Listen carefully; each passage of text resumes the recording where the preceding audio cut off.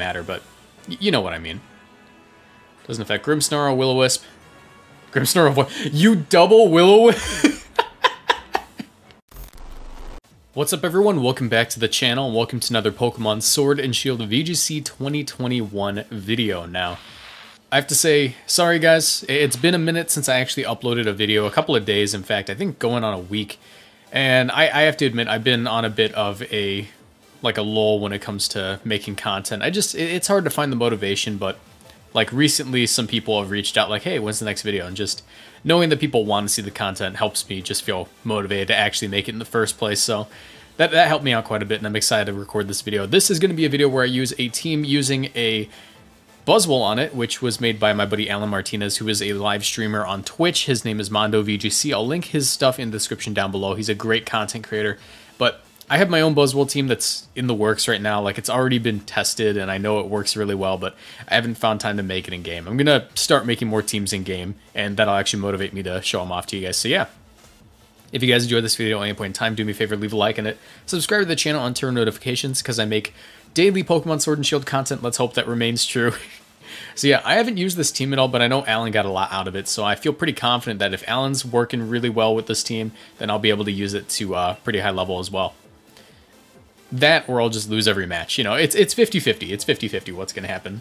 As you can see here, we are ranked 9,387, and that's because I haven't played in a long time, and I updated it last night and lost a couple of times because I'm out of practice, but um, let's see what, what happens when we include the decay. Or not last night, it was it was like a week ago that I actually like went in game and did that. So let's let's see what the decay is now that it's been a couple more days. That's going to be interesting. We are 10,000. That is so bad. I think I peaked at like 500 this season. I always say like, yeah, this season I'm going to ladder up, and then I play like a total of 30 games. I play like a total of 30 games. Some of those games that are like on my record are from when I was getting um, B-roll footage for my Urshifu video, so that, that's another thing that brought it down. I was just kind of like throwing Urshifu at the wall and trying to get some cool clicks, uh, clips of it. So yeah. Also, do me a favor, answer the comment question of the day, guys. What's your favorite fighting type. We're using one of my favorite fighting types being Buzzwole. Um, and yeah, I just I just really like this Pokemon. As I said, I have my own team for it coming down the pipe soon. But yeah, let me know what you think. What, what's your favorite fighting type? And Buzzwole will absolutely annihilate this team if I play it right. So, how do we avoid getting Nade on by Hatterene? Hmm. It looks like Tyranitar is going to be a really, really nice asset this game. Um, but so is Porygon 2 to an extent. We do have Choice Specs, Tapu Fini as well. I think I should lead off Tapu Fini. And we have Taunt on this Thundurus, right? We do not. Crap. do we have Taunt anywhere? That'd be great if we had Taunt somewhere. It's Choice Band Tyranitar, so maybe I can just lead off that way. Because I'm pretty certain... Oh, we do have Taunt. It's on the Grimmsnarl. I think what I should do so I can actually go Tyranitar Grimmsnarl. Buzzwole in the back is going to be great. Believe me, it's going to be great. And I think my last Pokemon is going to be Tapu Fini. So we do have a pretty big weakness to Fairy types on this team. In fact, we have no resistance to Fairy types on this team now that I look at it. Um, but I think we'll be fine here, as long as we can play around the Hatterene effectively, which they might not even bring. Actually, no, they're definitely going to bring it. They see my team. They know what my team looks like.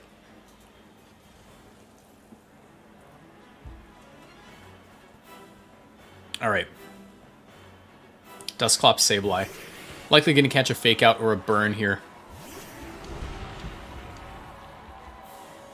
Hmm. They could also be Lagging Tail Trick. They see my Choice Band, they see the Light Clay. Um, I should always bring in the Tapu Fini here to avoid getting a burn on anything, and they might go for the Fake Out on my Tyranitar or a Will-O-Wisp, either one. Taunt isn't all that common on Grimmsnarl, from what I remember from the last week. That's the thing, like, I... I make content, right? But when I don't make content for a week, the meta entirely shifts, and I feel like an idiot when I come back and play. Alright, so this taunt should stop the Grimmsnarl, or not the Grimmsnarl, the Dusclops barring a fake out into my Grimmsnarl. I get my taunt off. No trick room for you. And this choice specs is going to hurt. Like, I have a very powerful move at my disposal right here. I have a very powerful move at my disposal. I think what I'll do is I'll just double into the Sableye slot. It's not common for them to carry Protect. And I don't believe they have a Fairy Resist. No, they do. They have Stakataka and, and that thing. Um, I still think the Fairy move is a good idea. Just Moonblast, and we can also go for a Spirit Break into the Sableye slot as well, just to see what we can catch. I don't think Stakataka would comfortably come in here just because I haven't revealed choice spec since I didn't lead off with this thing. As they go into Glastrier. And it looks like... Oh no, they're not going to enjoy this. They are not going to enjoy this. This is a Choice Specs Moonblast into a Spirit Break. Alright, that looks like Assault Vest, just judging by the damage. Alright. So, what did we learn? Um, definitely choice specs. Definitely choice specs. Or not choice specs, uh, assault vest. Dude, even when I like take a break from making content, I like forget how to speak in a video. It's happened before. You guys can go back and watch videos where I like haven't made a video in a while. Um, let me go for the reflect here. If they ally switch again, I actually wouldn't be in a terrible position. The reflect is going to help me out quite a bit. That's what I hate about ally switch, man. Like, you see it so much on the lower ladder that it's like you can't help but associate lower ladder with ally switch, if that makes sense. Does anyone else understand that? Like, when I go on, on lower ladder, I'm like, oh yeah, ally switch is going to be everywhere. You see it on high ladder, too. It's like either really, really low ladder or very, very high ladder that you see it. It's never in between. I mean, you see it in between, I guess, but like, you know what I mean. It's more common at the top and at the bottom. Go from a reflect here. That tells me no ally switch since that would have gone first. Moonblast would be doing a decent amount. Yeah, so they go for a Poltergeist. Interesting. That's actually not going to hurt too much because I'm Tapu Fini and that's a Sableye. Yeah. I mean, interesting play. You don't really see uh, Poltergeist Sableye, but I guess it makes sense. It's one of the better physical moves it has access to. Um, and I want to make a read here. I want to say that they're likely going to go for another ally switch here. And they're not going to knock out Tapu Fini with anything. Just because the Reflect is up, they should be targeting Grimmsnarl.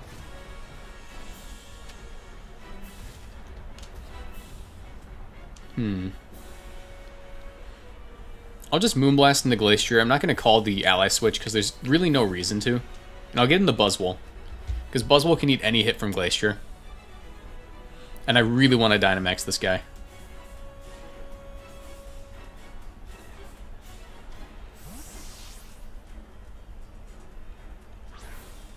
Steel Spike should be doing very, very little damage to him. Just because he has amazing defense. Oh, looks like we land a crit. No, we just get the high roll. Because it, it, dropped a lot quicker than I expected it to. The question is, what move did they go for? Poltergeist again? Probably. Yeah, there's the Poltergeist. Gonna be hit by my choice specs. Once again, not doing too much damage just because it's Sableye attacking, you know? Sableye should honestly just be running Foul Play, in my opinion. Fake out, Will-O-Wisp, Foul Play, Taunt. I believe it gets taunt. I'm not certain. It makes me sad that Grimmsnarl outclasses Sableye in a lot of departments. You know? It's just disappointing. Alright, so... Um, I would like to avoid getting burned here. I think I'm just going to Moonblast the Sableye, to be honest. Um, I'm not really fearing anything coming out from the Dusclops. We'll get in Tyranitar here. Because I still have a turn. I still have a couple of turns of Misty Terrain, so I'm not too scared of getting burned. You know, like, I, I just have to be able to reset the terrain later on. They go for the ally switch, that's fine. I still have my like my whole team and a Dynamax to burn, so I don't think they can really win. Unless I absolutely choke this game. It does a decent amount. They should be Trick Rooming here.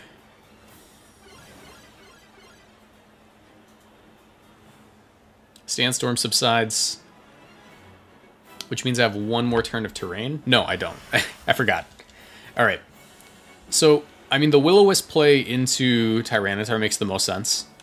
So what I can do here is actually just go into my Buzzwole here and sack the Grimmsnarl to likely some kind of double up into it. I don't know, probably not a double up. They're probably just going to go for either a Nightshade and a Will-O-Wisp into like like a Will-O-Wisp into the Tyranitar and a Nightshade and Tapu Fini make the most sense. You know? I might have to Dynamax the Tyranitar. He just does the most damage to everything, especially with that Choice Band. Or I guess the Choice Band wouldn't matter, but you know what I mean. Doesn't affect Grimmsnarl, Will-O-Wisp. Grimmsnarl, what? You double Will-O-Wisp? double Will-O-Wisp. I mean, you can't fault them for trying, you know? You can't fault them for trying, but it's just funny that that's how it worked out. I was like, oh, they're going to go for a Will-O-Wisp into my Buzzwole, but... double Will-O-Wisp. Yeah, there's Hatterene. I should be able to Dynamax my... I should be able to Dynamax the um, Tyranitar and just win now.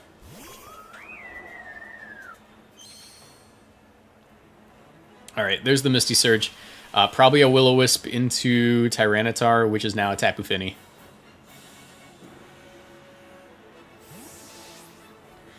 And in comes Tyranitar. Or Grimmsnarl, I mean, or whatever. I don't know. I don't know what I'm talking about. I'm tired. It's been a while since I commentated. Y you guys are going to get used to it. And then I'll get used to it and then we'll be fine. Anyways, the Will-O-Wisp isn't happening is the point of this turn. And I'm not weakness policy, which is a little bit unfortunate. The weakness policy would have been great here. I am choice banded. I am choice banderino. Uh, let me just go ahead and go for a... I suppose the, um...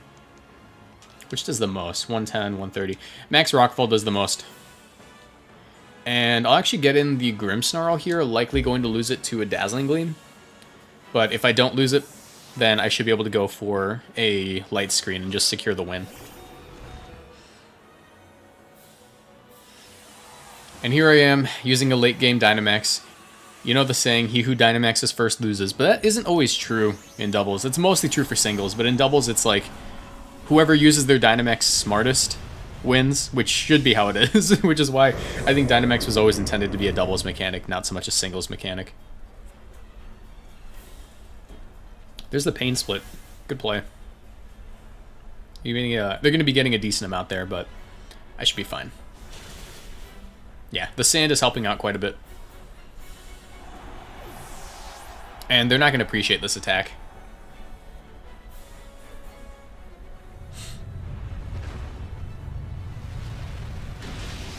That's gonna be a KO after the sand. I was concerned. I was like, wait, how many how many turns of sand do I have left? And I'm like, oh, I just reset it like a couple of turns ago. All right, so in comes the Sableye. We can just max Rockfall that. I'm not really concerned about losing this match anymore. Um, actually, I can just go Buzzwole. I'll just go Buzzwole. Reason being is I can just double into the Sableye and win.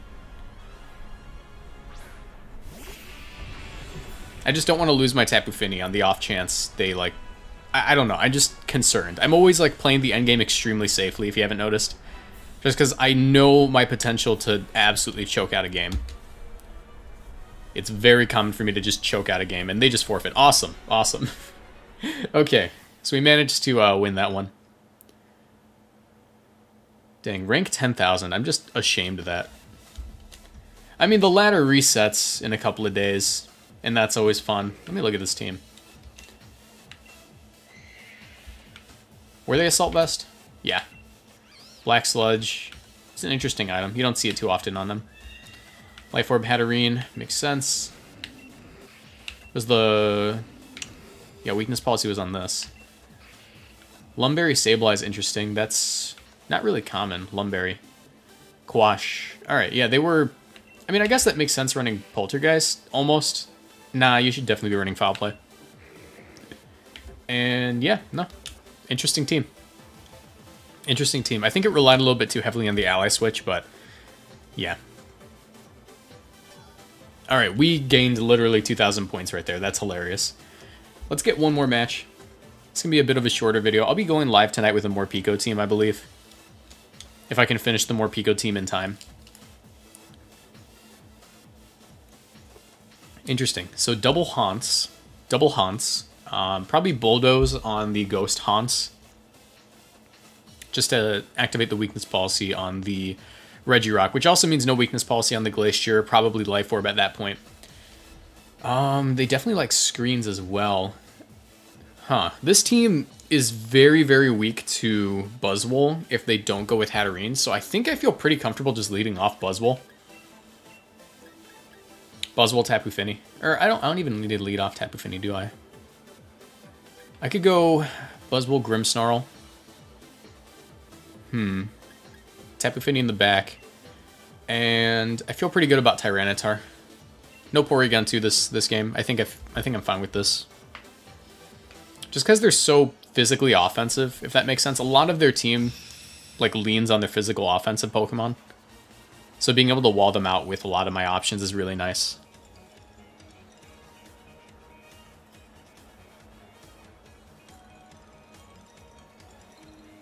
Regirock Spectrier, awesome. So the reason I let off Buzzwole Tapu Fini is because this also makes it so they can't, or Buzzwole Grimmsnarl, it means I can switch in Tapu Fini uh, and prevent them from being able to get off a burn. And also Buzzwole's kind of scary here. I think what I want to do is... Maybe I don't Dynamax just yet. Maybe I get in my Tapu Fini here. And actually go for a light screen, just to make sure I don't immediately lose to Dynamax Spectrier, if that makes sense. Because they get Dynamax to Spectrier, recognizing that Buzzwole's weak to it. If they if they bulldoze here and Dynamax their Regirock, I think I'm in a better position to win, though. I just don't see them going for that play, considering what's on the field.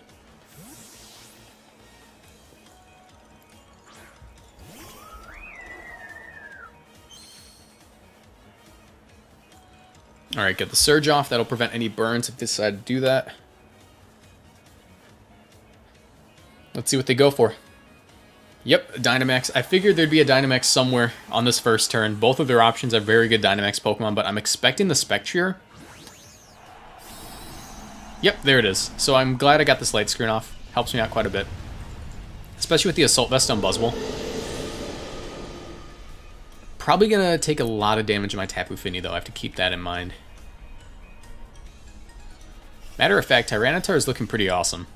I might not even need, even need a Dynamax him, you know? They go for the Max Strike. Likely coming off of Hyper Beam or Round if it gets it, I don't know. But it's not doing too much damage. Get a Speed Drop. Um, they do not want to take a, not a Dynamax, but a Choice Spec Scald. Regirock never wants to eat that hit, and I should definitely be able to eat a hit from this, uh, from the Spectre pretty well.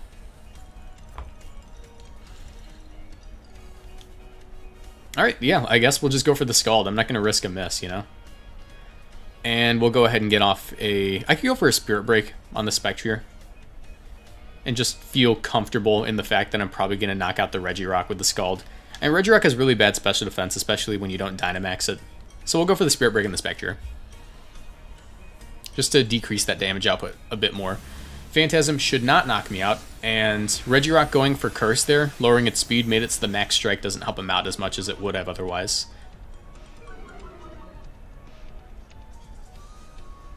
Let's see how much this Scald does. I'm pretty certain Choice Specs will KO. Oh, almost. Does it get their weakness policy off? I'm probably in trouble, but I might not be. We'll see. Spirit Break. If they went for another Curse, I should be fine. They go for the Rock Slide. This is to hurt. Yep, lost two Pokemon there. Lost two Pokemon, but... I mean... Their Dynamax is almost over.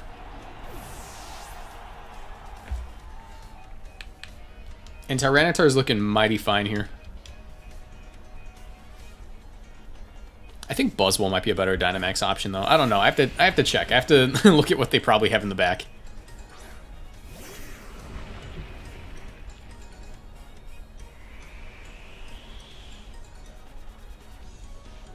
With the light screen up, I definitely live pretty much every hit from the Spectre. So what I think I should do here... Yeah, I think what I'm going to do here is Dynamax Buzzwole and go for the Max Knuckle for plus two. And I should just be able to lock myself into Assurance here on the Spectre. I don't like locking into Assurance, but I want to make sure I actually get a KO.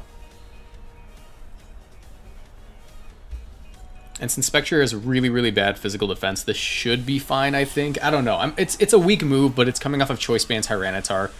So it might be enough. I don't know. And since they're at minus one on their... Since they're at minus one speed on their um, Regirock, even if they go for a max strike into my Buzzwole or something, I should be fine. They go for the max Phantasm, trying to lower my defense. Buzzwole, yeah, you're going to eat that up. you're going to eat that up pretty well.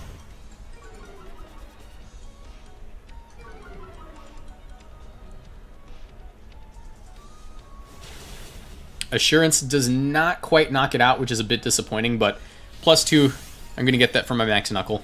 And I still have a Dynamax, so I feel pretty good about the position I'm in. Especially with, uh, with the light screen up, I'm not in a bad spot, really. And this is why I think that Buzzwole is going to be really underrated, or just is really underrated right now, is because it's so able to snowball and wall so many threats within the format that it's like just good, you know? It's just good.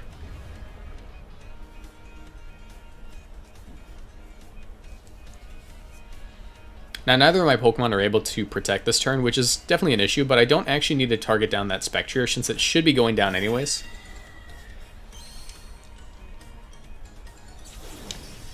And with Light Screen up in Sand, there's no way they're going to knock me out with a, um, with a Mud Shot. How many turns of Sand are left? Four turns of Sandstorm. Okay, I was...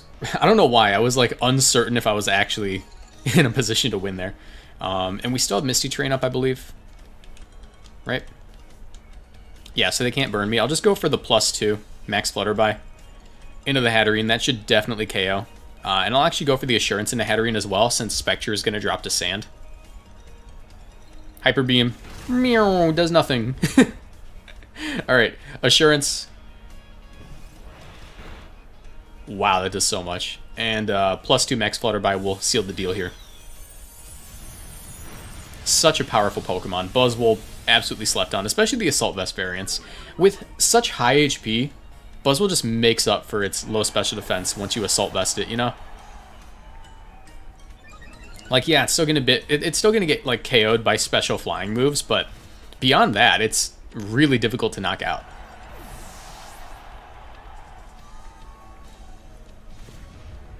Alright. Look at his nose. Oh my god, I just realized that Buzzwole's nose just goes way out from his face. There's the Regieleki. Um, I've pretty much won. Assault Vest, Light Screen, Buzzwole, Existing. Um, and it's a Regieleki, so I'm just going to do the Here Comes a Giant Fist meme since it doesn't matter. Dang. I'll go for the Fire Punch for the meme. Oh, wait, no, I'm Choice Banded. I'm going to knock it out with... I'm going to knock it out. That's annoying. Volt Switch, pathetic. Okay. Hopefully this doesn't knock it out. I want to say here comes a giant fist. Okay, yeah. Focus Sash. So it was just pure offensive Regieleki. Interesting. And here comes a giant fist! Meow. Here comes the airplane. Just feeding you death. Awesome. So uh, we managed to pick up two wins today, and granted, like I am on lower ladder, but it's it's still like I'm out of practice. I need to practice some more. So tonight I'm going to be going live with a Pico team, and I'll try to get that Buzzwole team in game for you guys in a couple of days here. So yeah, thank you so much for watching and sticking by the channel, guys. I really appreciate everyone who stuck around during that lulling content. But uh, thank you so much. Leave a like in the video if you enjoyed. Subscribe to the channel for more content, turn notifications, and join the Discord. All of these things help me out. I'll be going live at 5 p.m. Central Standard Time with the Morpeko team. And yeah, I'll see you guys in the next one. Bye.